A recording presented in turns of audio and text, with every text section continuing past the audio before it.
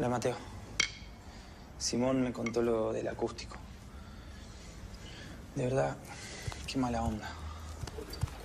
Mira, yo te quería decir que confío en tu talento y sé que en algún momento lo vas a poder hacer, ¿sí? Bueno, mm, no sé si va a ser así. Igual, gracias por la buena onda. Mira, no te lo digo para consolarte. De verdad que yo pienso que es así. Y aparte, mientras puedes volver a Rollerball. De verdad que nosotros te extrañamos mucho. Yo también los extraño. Pero necesito pensarlo, ¿ok? Porque en este momento estoy con la cabeza en otro lado. ¿Por qué?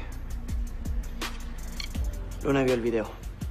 Y bueno, ¿no es eso lo que querías? Sí, era lo que quería. Pero nada, pensé que después de que Luna iba a ver el video me iba a decir algo. Y no lo hizo, no me dijo nada. Bueno, Mateo, mira, a veces las relaciones son difíciles. Mira, por ejemplo, lo que pasó con Ada. Yo pensé que no le iba a poder perdonar y ahora de golpe voy a salir con ella. ¿En serio? Sí, le voy a dar otra oportunidad. Sabes, yo estoy a favor de segundas oportunidades. ¿Y entonces por qué no le pedís otra oportunidad a Luna? Porque ya lo hice, ok. Hice millones de cosas para que volvamos a estar juntos.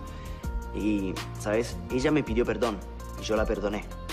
Pero sé perfectamente que en realidad no me perdonó para nada y no perdonó todos los errores que hice. Mira, Mateo, yo creo que tenés que dejar todo el pasado atrás y pensar en el futuro. Porque si no, te estás haciendo mal vos mismo. Bueno, muy bien, dijiste una cosa muy correcta. Ok, quedó todo en el pasado, quedó atrás.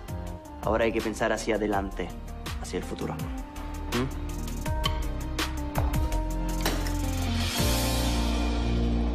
Oigan, chicas, falta muy poquito para su audición. ¿Ya están listas o qué? Ni me lo recuerdes, por favor. Ay, ya no exageres. Mira, estuvimos ensayando todo el día y nos sale súper bien. Y por eso quisimos venir a verte. Si queremos que nos cuentes qué fue lo que pasó con Mateo en vivo e en directo, por favor.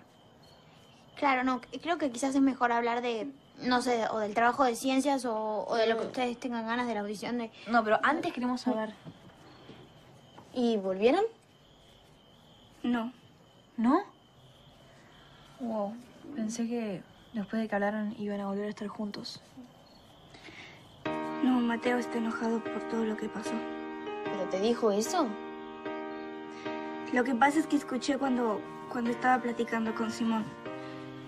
Y le dijo que por culpa de lo que le pasó, él se perdió la oportunidad de su vida y que está arrepentido de todo lo que hizo.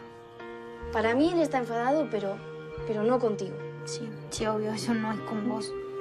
No sé, chicas. Mira, yo le dije que había visto el video y le pedí perdón, pero no sé, él antes estaba tan insistente que quería que viera el video y ahora no me dijo nada. Por eso, por eso ya no le dije que, no sé, que regresáramos a estar juntos. Mira, Luna, lo que tienes que tener claro es que tú no hiciste absolutamente nada para que él esté molesto, ¿ok? ¿No creerle te parece poco, Jim? Entiendo que Mateo está enojado conmigo porque yo no confío en él. Y ahora sí creo que lo nuestro es imposible.